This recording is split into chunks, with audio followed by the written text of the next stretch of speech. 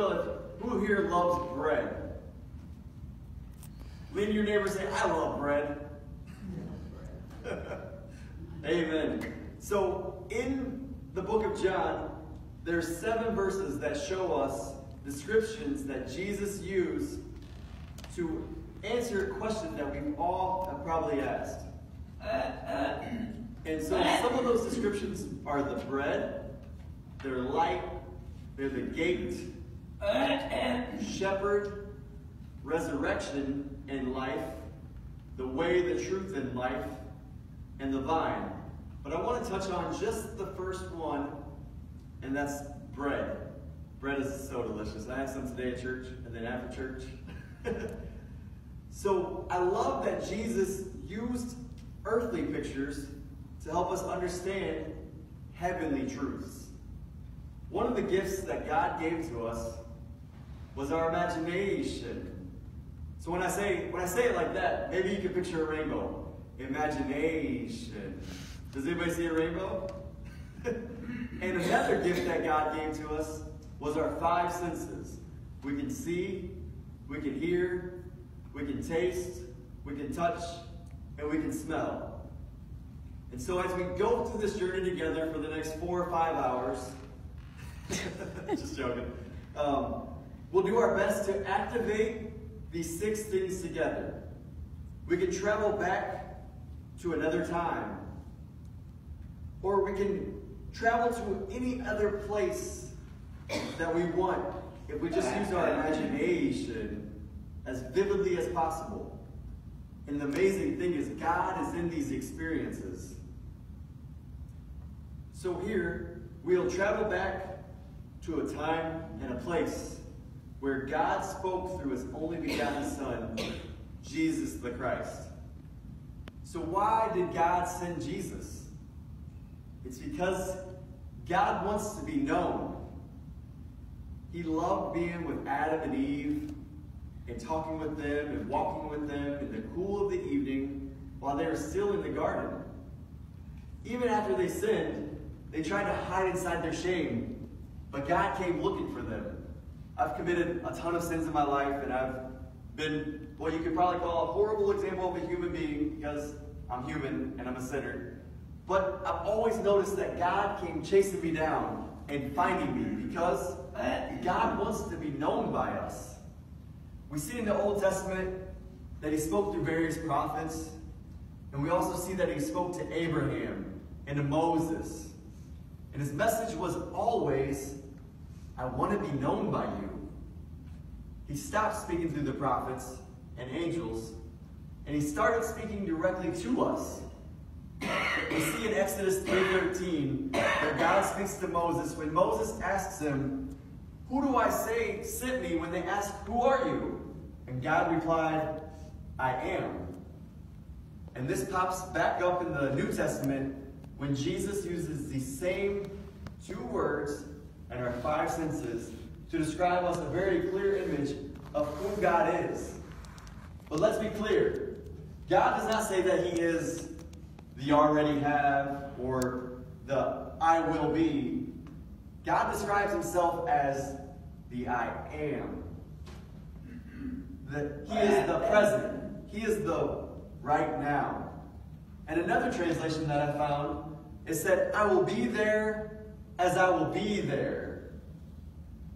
So now, as we meditate on the word now, we can think about some of our humanly needs. Have you guys had dinner yet? No. So one of our humanly needs might be this guy needs to shut up and I'll go eat. and some of our other humanly needs might be I'm thirsty. We also have a great need to feel important, to feel worthy, to feel wanted, and to feel like we have a purpose.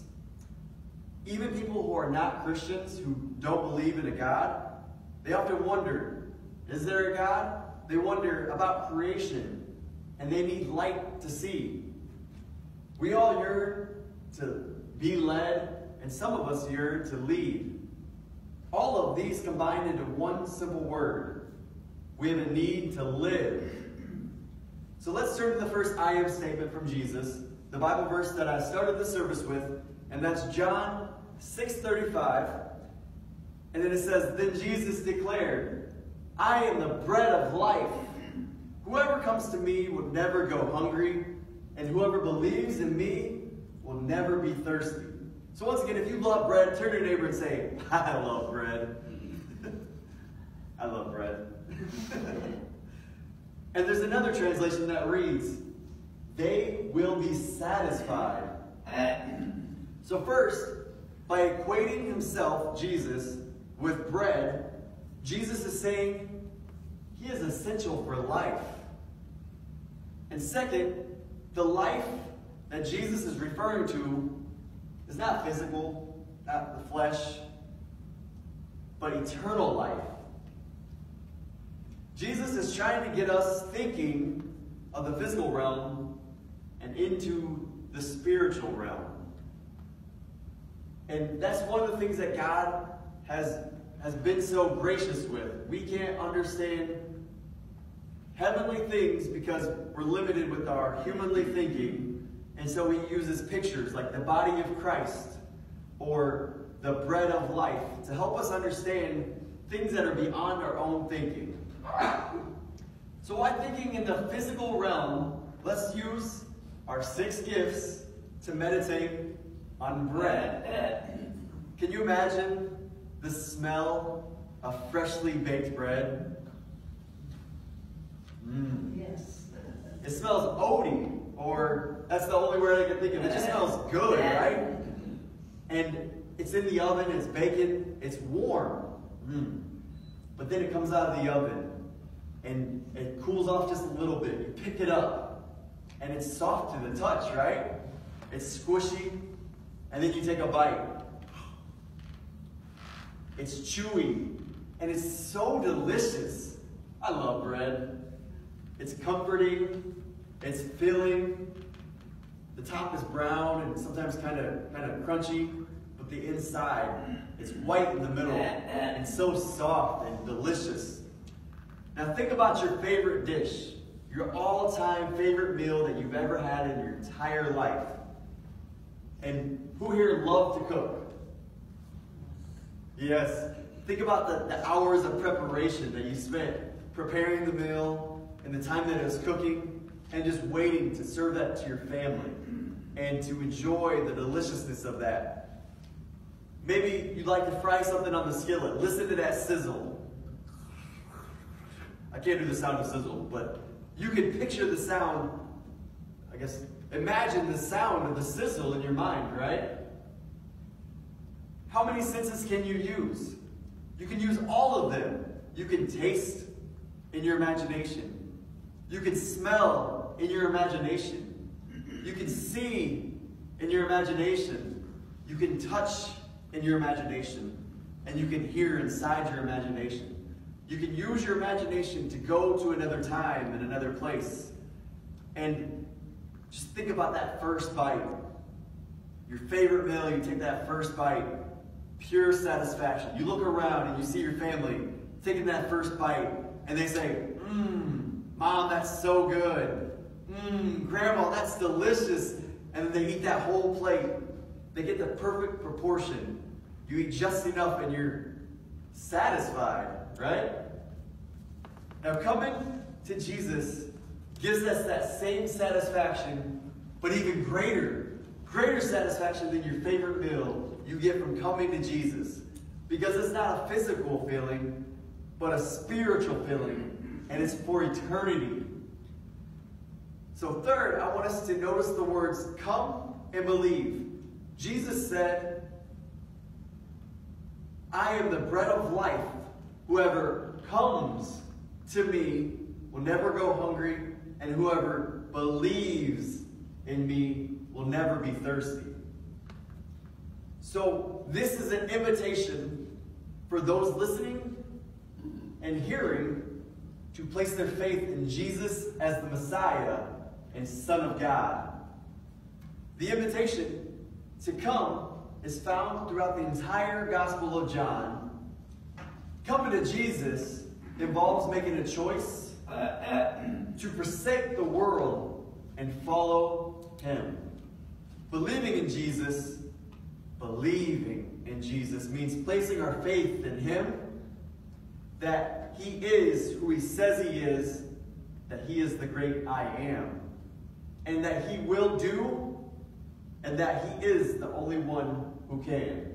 So we find eternal life in heaven through Jesus Christ. And does anybody here know Pastor Harold Jones, the pastor of United Methodist Church in Monroeville? I know him, but yeah. Such an amazing man of God. And he said today in our church service there at the Monroeville United Methodist Church, he said that Jesus prayed, Your, your will be done on earth as it is in heaven. And so we can have heaven right where we're at, right now, and it'll go on for eternity, forever and ever. So let us make a choice to place our faith in Jesus today and every day on. And if you will, please pray with me.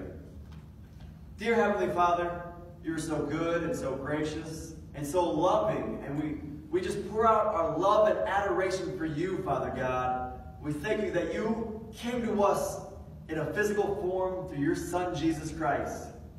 And Lord, we just, we just thank you for the gifts that you've given us, our imagination, and all of our five senses, and the ability to go to another place at another time. And most of all, we thank you that you help us to understand things that are heavenly, that are beyond us, through physical, worldly pictures. And we just know that you are the bread of life, and that we come to you right now for satisfaction. We come to you for that eternal life in heaven. And so if there's anybody in this room that has not given their life to you, that has not given their trust to you, we just we just lift them up in prayer. We say, Dear Heavenly Father, we come to you, we accept you as our Savior. We love you, we proclaim that you are God, and that we will have eternal life in you. Let your kingdom be, be done right here on earth. We welcome heaven right now in our own bodies, in our own facility, and we just love you so much. We praise you. We hold you up high. You are a holy God. And we pray all these things in Jesus' mighty name. Amen. Amen. So is everybody on page 100? Now here this is a really popular song, The Old Rugged Cross. Does everybody like that song, The Old Rugged Cross? yeah.